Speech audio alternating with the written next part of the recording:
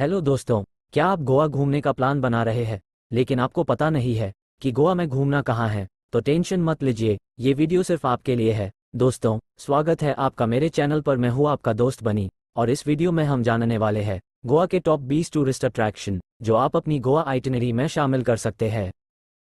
तो चलिए शुरू करते हैं। तो टॉप 20 नंबर पर मैंने रखा है, फर्नांडीज पैलेस को। गोवा एशियाई उपमहाद्वीप का एक ऐसा स्थान है जहाँ हमें 1700 के दशक की सभ्यता मिलती है। दिलचस्प बात यह है कि वे अभी भी बरकरार हैं और मालिकों की पीढ़ियों द्वारा बसाए गए हैं। पुर्तगालियों ने गोवा की संरचनाओं और व्यंजनों पर स्पष्ट छाप छोड़ी हैं।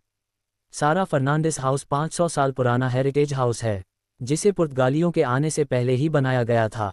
चंदोर में स्थित वोडलेम घोर में एक बड़ा बॉलरूम, विशाल बरामदा, फ्रेंच कांच की खिड़कियाँ, दर्पण और क्रिस्टल झूमर हैं जो इस जगह की सुंदरता को बढ़ाते हैं। लंबे फूलदान, पियानो और लैंप वास्तुकला की असामान्य शैली को बढ़ाते हैं। फर्नांडिस परिवार की सबसे बड़ी सदस्य सारा अपने तीन बेटों और उनके परिवारों के साथ हवेली में रहती है। इसमें कोई संदेह नहीं है कि फर्नांडिस हाउस इतिहास की किताबों का आखिरी अध्याय है, जो एक सुरक्षित भविष्य की प्रतीक्षा कर रहे समृद्ध अतीत को विनम्र वर्तमान में खूबसूरती से जोड़ता है।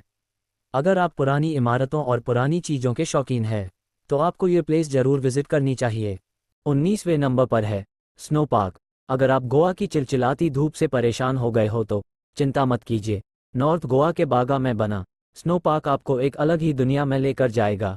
इसकी एंट्री फ़ीस सिर्फ़ पाँच सौ पर पर्सन है, और इसके अंदर आप snow fight ice igloo, snow man, बर्फ़ पर स्लाइड, स्लेजिंग कार, डीजे और लेजर लाइटिंग और स्नो डांसिंग। गोवा का एकमात्र आइस बार जहाँ आप रियल आइस ग्लास में ड्रिंक कर सकते हैं।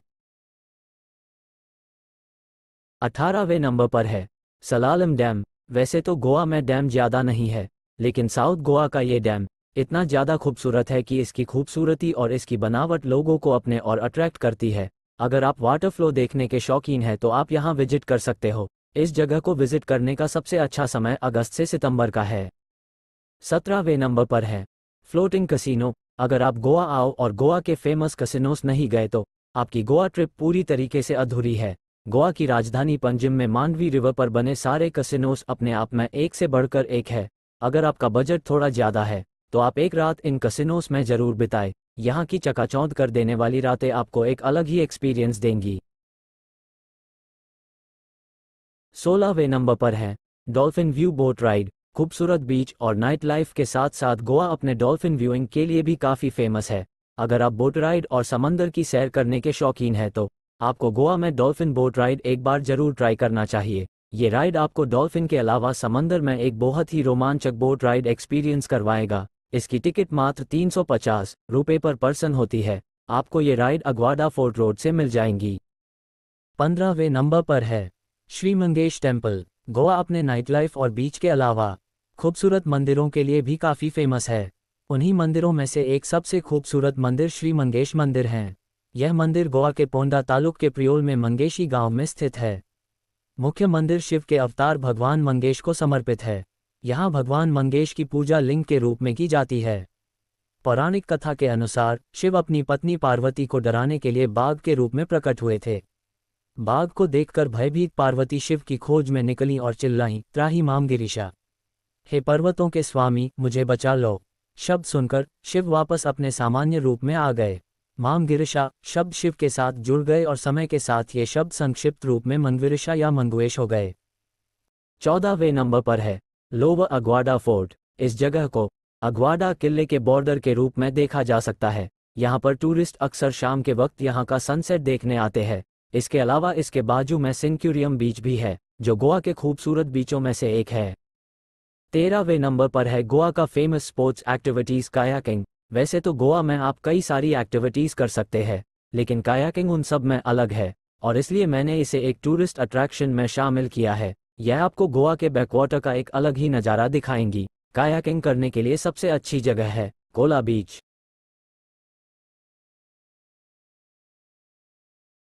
बारहवें नंबर पर मैंने रखा है नॉर्थ गोवा के अंजुना स्टोन बीच को। आपने रेत वाले बीच को तो हर जगह देखा होगा। लेकिन अंजुना बीच का स्टोन बीच अपने ही आप में काफ़ी यूनिक और अलग है। आप अर्ली मॉर्निंग यहाँ विज़िट करके इस स्टोन बीच को देख सकते हैं। इसके अलावा आप यहाँ का फ़ेमस फ्ली मार्केट में शॉपिंग भी कर सकते हैं।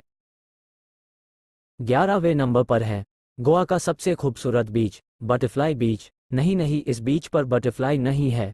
एक्चुअली इस जगह का शेप एक बटरफ्लाई के जैसे है, इसलिए इस जगह को बटरफ्लाई बीच कहते हैं। और यकीन मानो अगर आप इस जगह पर नहीं गए तो आपने गोवा की असली खूबसूरती देखी ही नहीं। बटरफ्लाई बीच को गोवा का स्वर्ग भी कहा जाता है।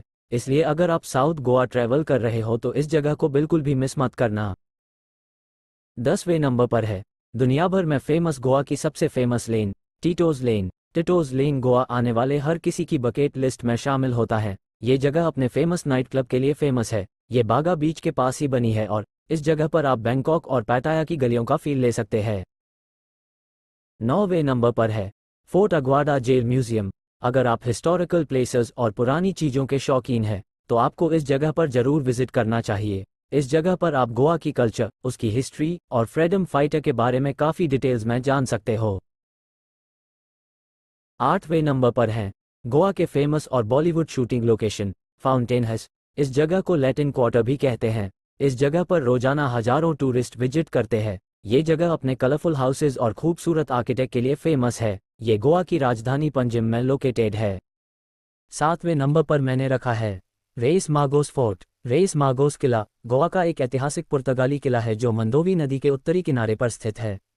किला का निर्माण पंद्रह में किया गया था। आज ये गोवा के इतिहास और पुर्तगाली वास्तुकला का एक अच्छी तरह से बचाया हुआ स्मारक है। रेस मागोस किले के आगे वाले दीवारों और तोपों को दर्शक देख सकते हैं। इस जगह पर आप पुर्तगालियों के समय के आर्किटेक्ट को देख सकते हैं। इसके अतिरिक्त, रेस मागोस किला भी अपने चित्रस्थल और शांत वातावरण के लिए एक प्रसिद्ध पर्यटक स्थल है। लगभग सभी दिशाओं में बेहतरीन नज़ारे हैं और गोवा के समृद्ध सांस्कृतिक विरासत के बारे में जान सकते हैं। ये दुनिया भर के टूरिस्ट को आकर्षित करता है जो इसकी सुंदरता में मोहित होते हैं और इसके रोमांचक इतिहास में खो जाते हैं। सिक्स नंबर पर है, डोना पावला। इसे लवर पॉइंट के नाम से भी जाना जाता है। डोना पावला एक खूबसूरत टूरिस्ट अट्रैक्शन है, और यह एक बॉलीवुड मूवी शूटिंग लोकेशन भी है। सिंगम मूवी याद है ना? सिंगम के अलावा भी काफ़ी सारी मूवीज़ की शूटिंग इस जगह पर हुई है। ये प्लेस अपने सनसेट के लिए भी काफ़ी फ़ेमस है। पाँचवें नंबर पर है, अग्वाडा फोर्ट। अग्वाडा फोर्ट का निर्माण 1612 में पोर्चुगीज द्वारा मराठाओं और नीदरलैंड के सिपाहियों से बचने के लिए बनाया गया था। अग्वाडा एक पोर्चुगीज वर्ड है, इसका मतलब होता है वाटरी मतलब पानी का स्रोत। अठारह में बना भारत का सबसे पुराना लाइट हाउस भी यह मौजूद है।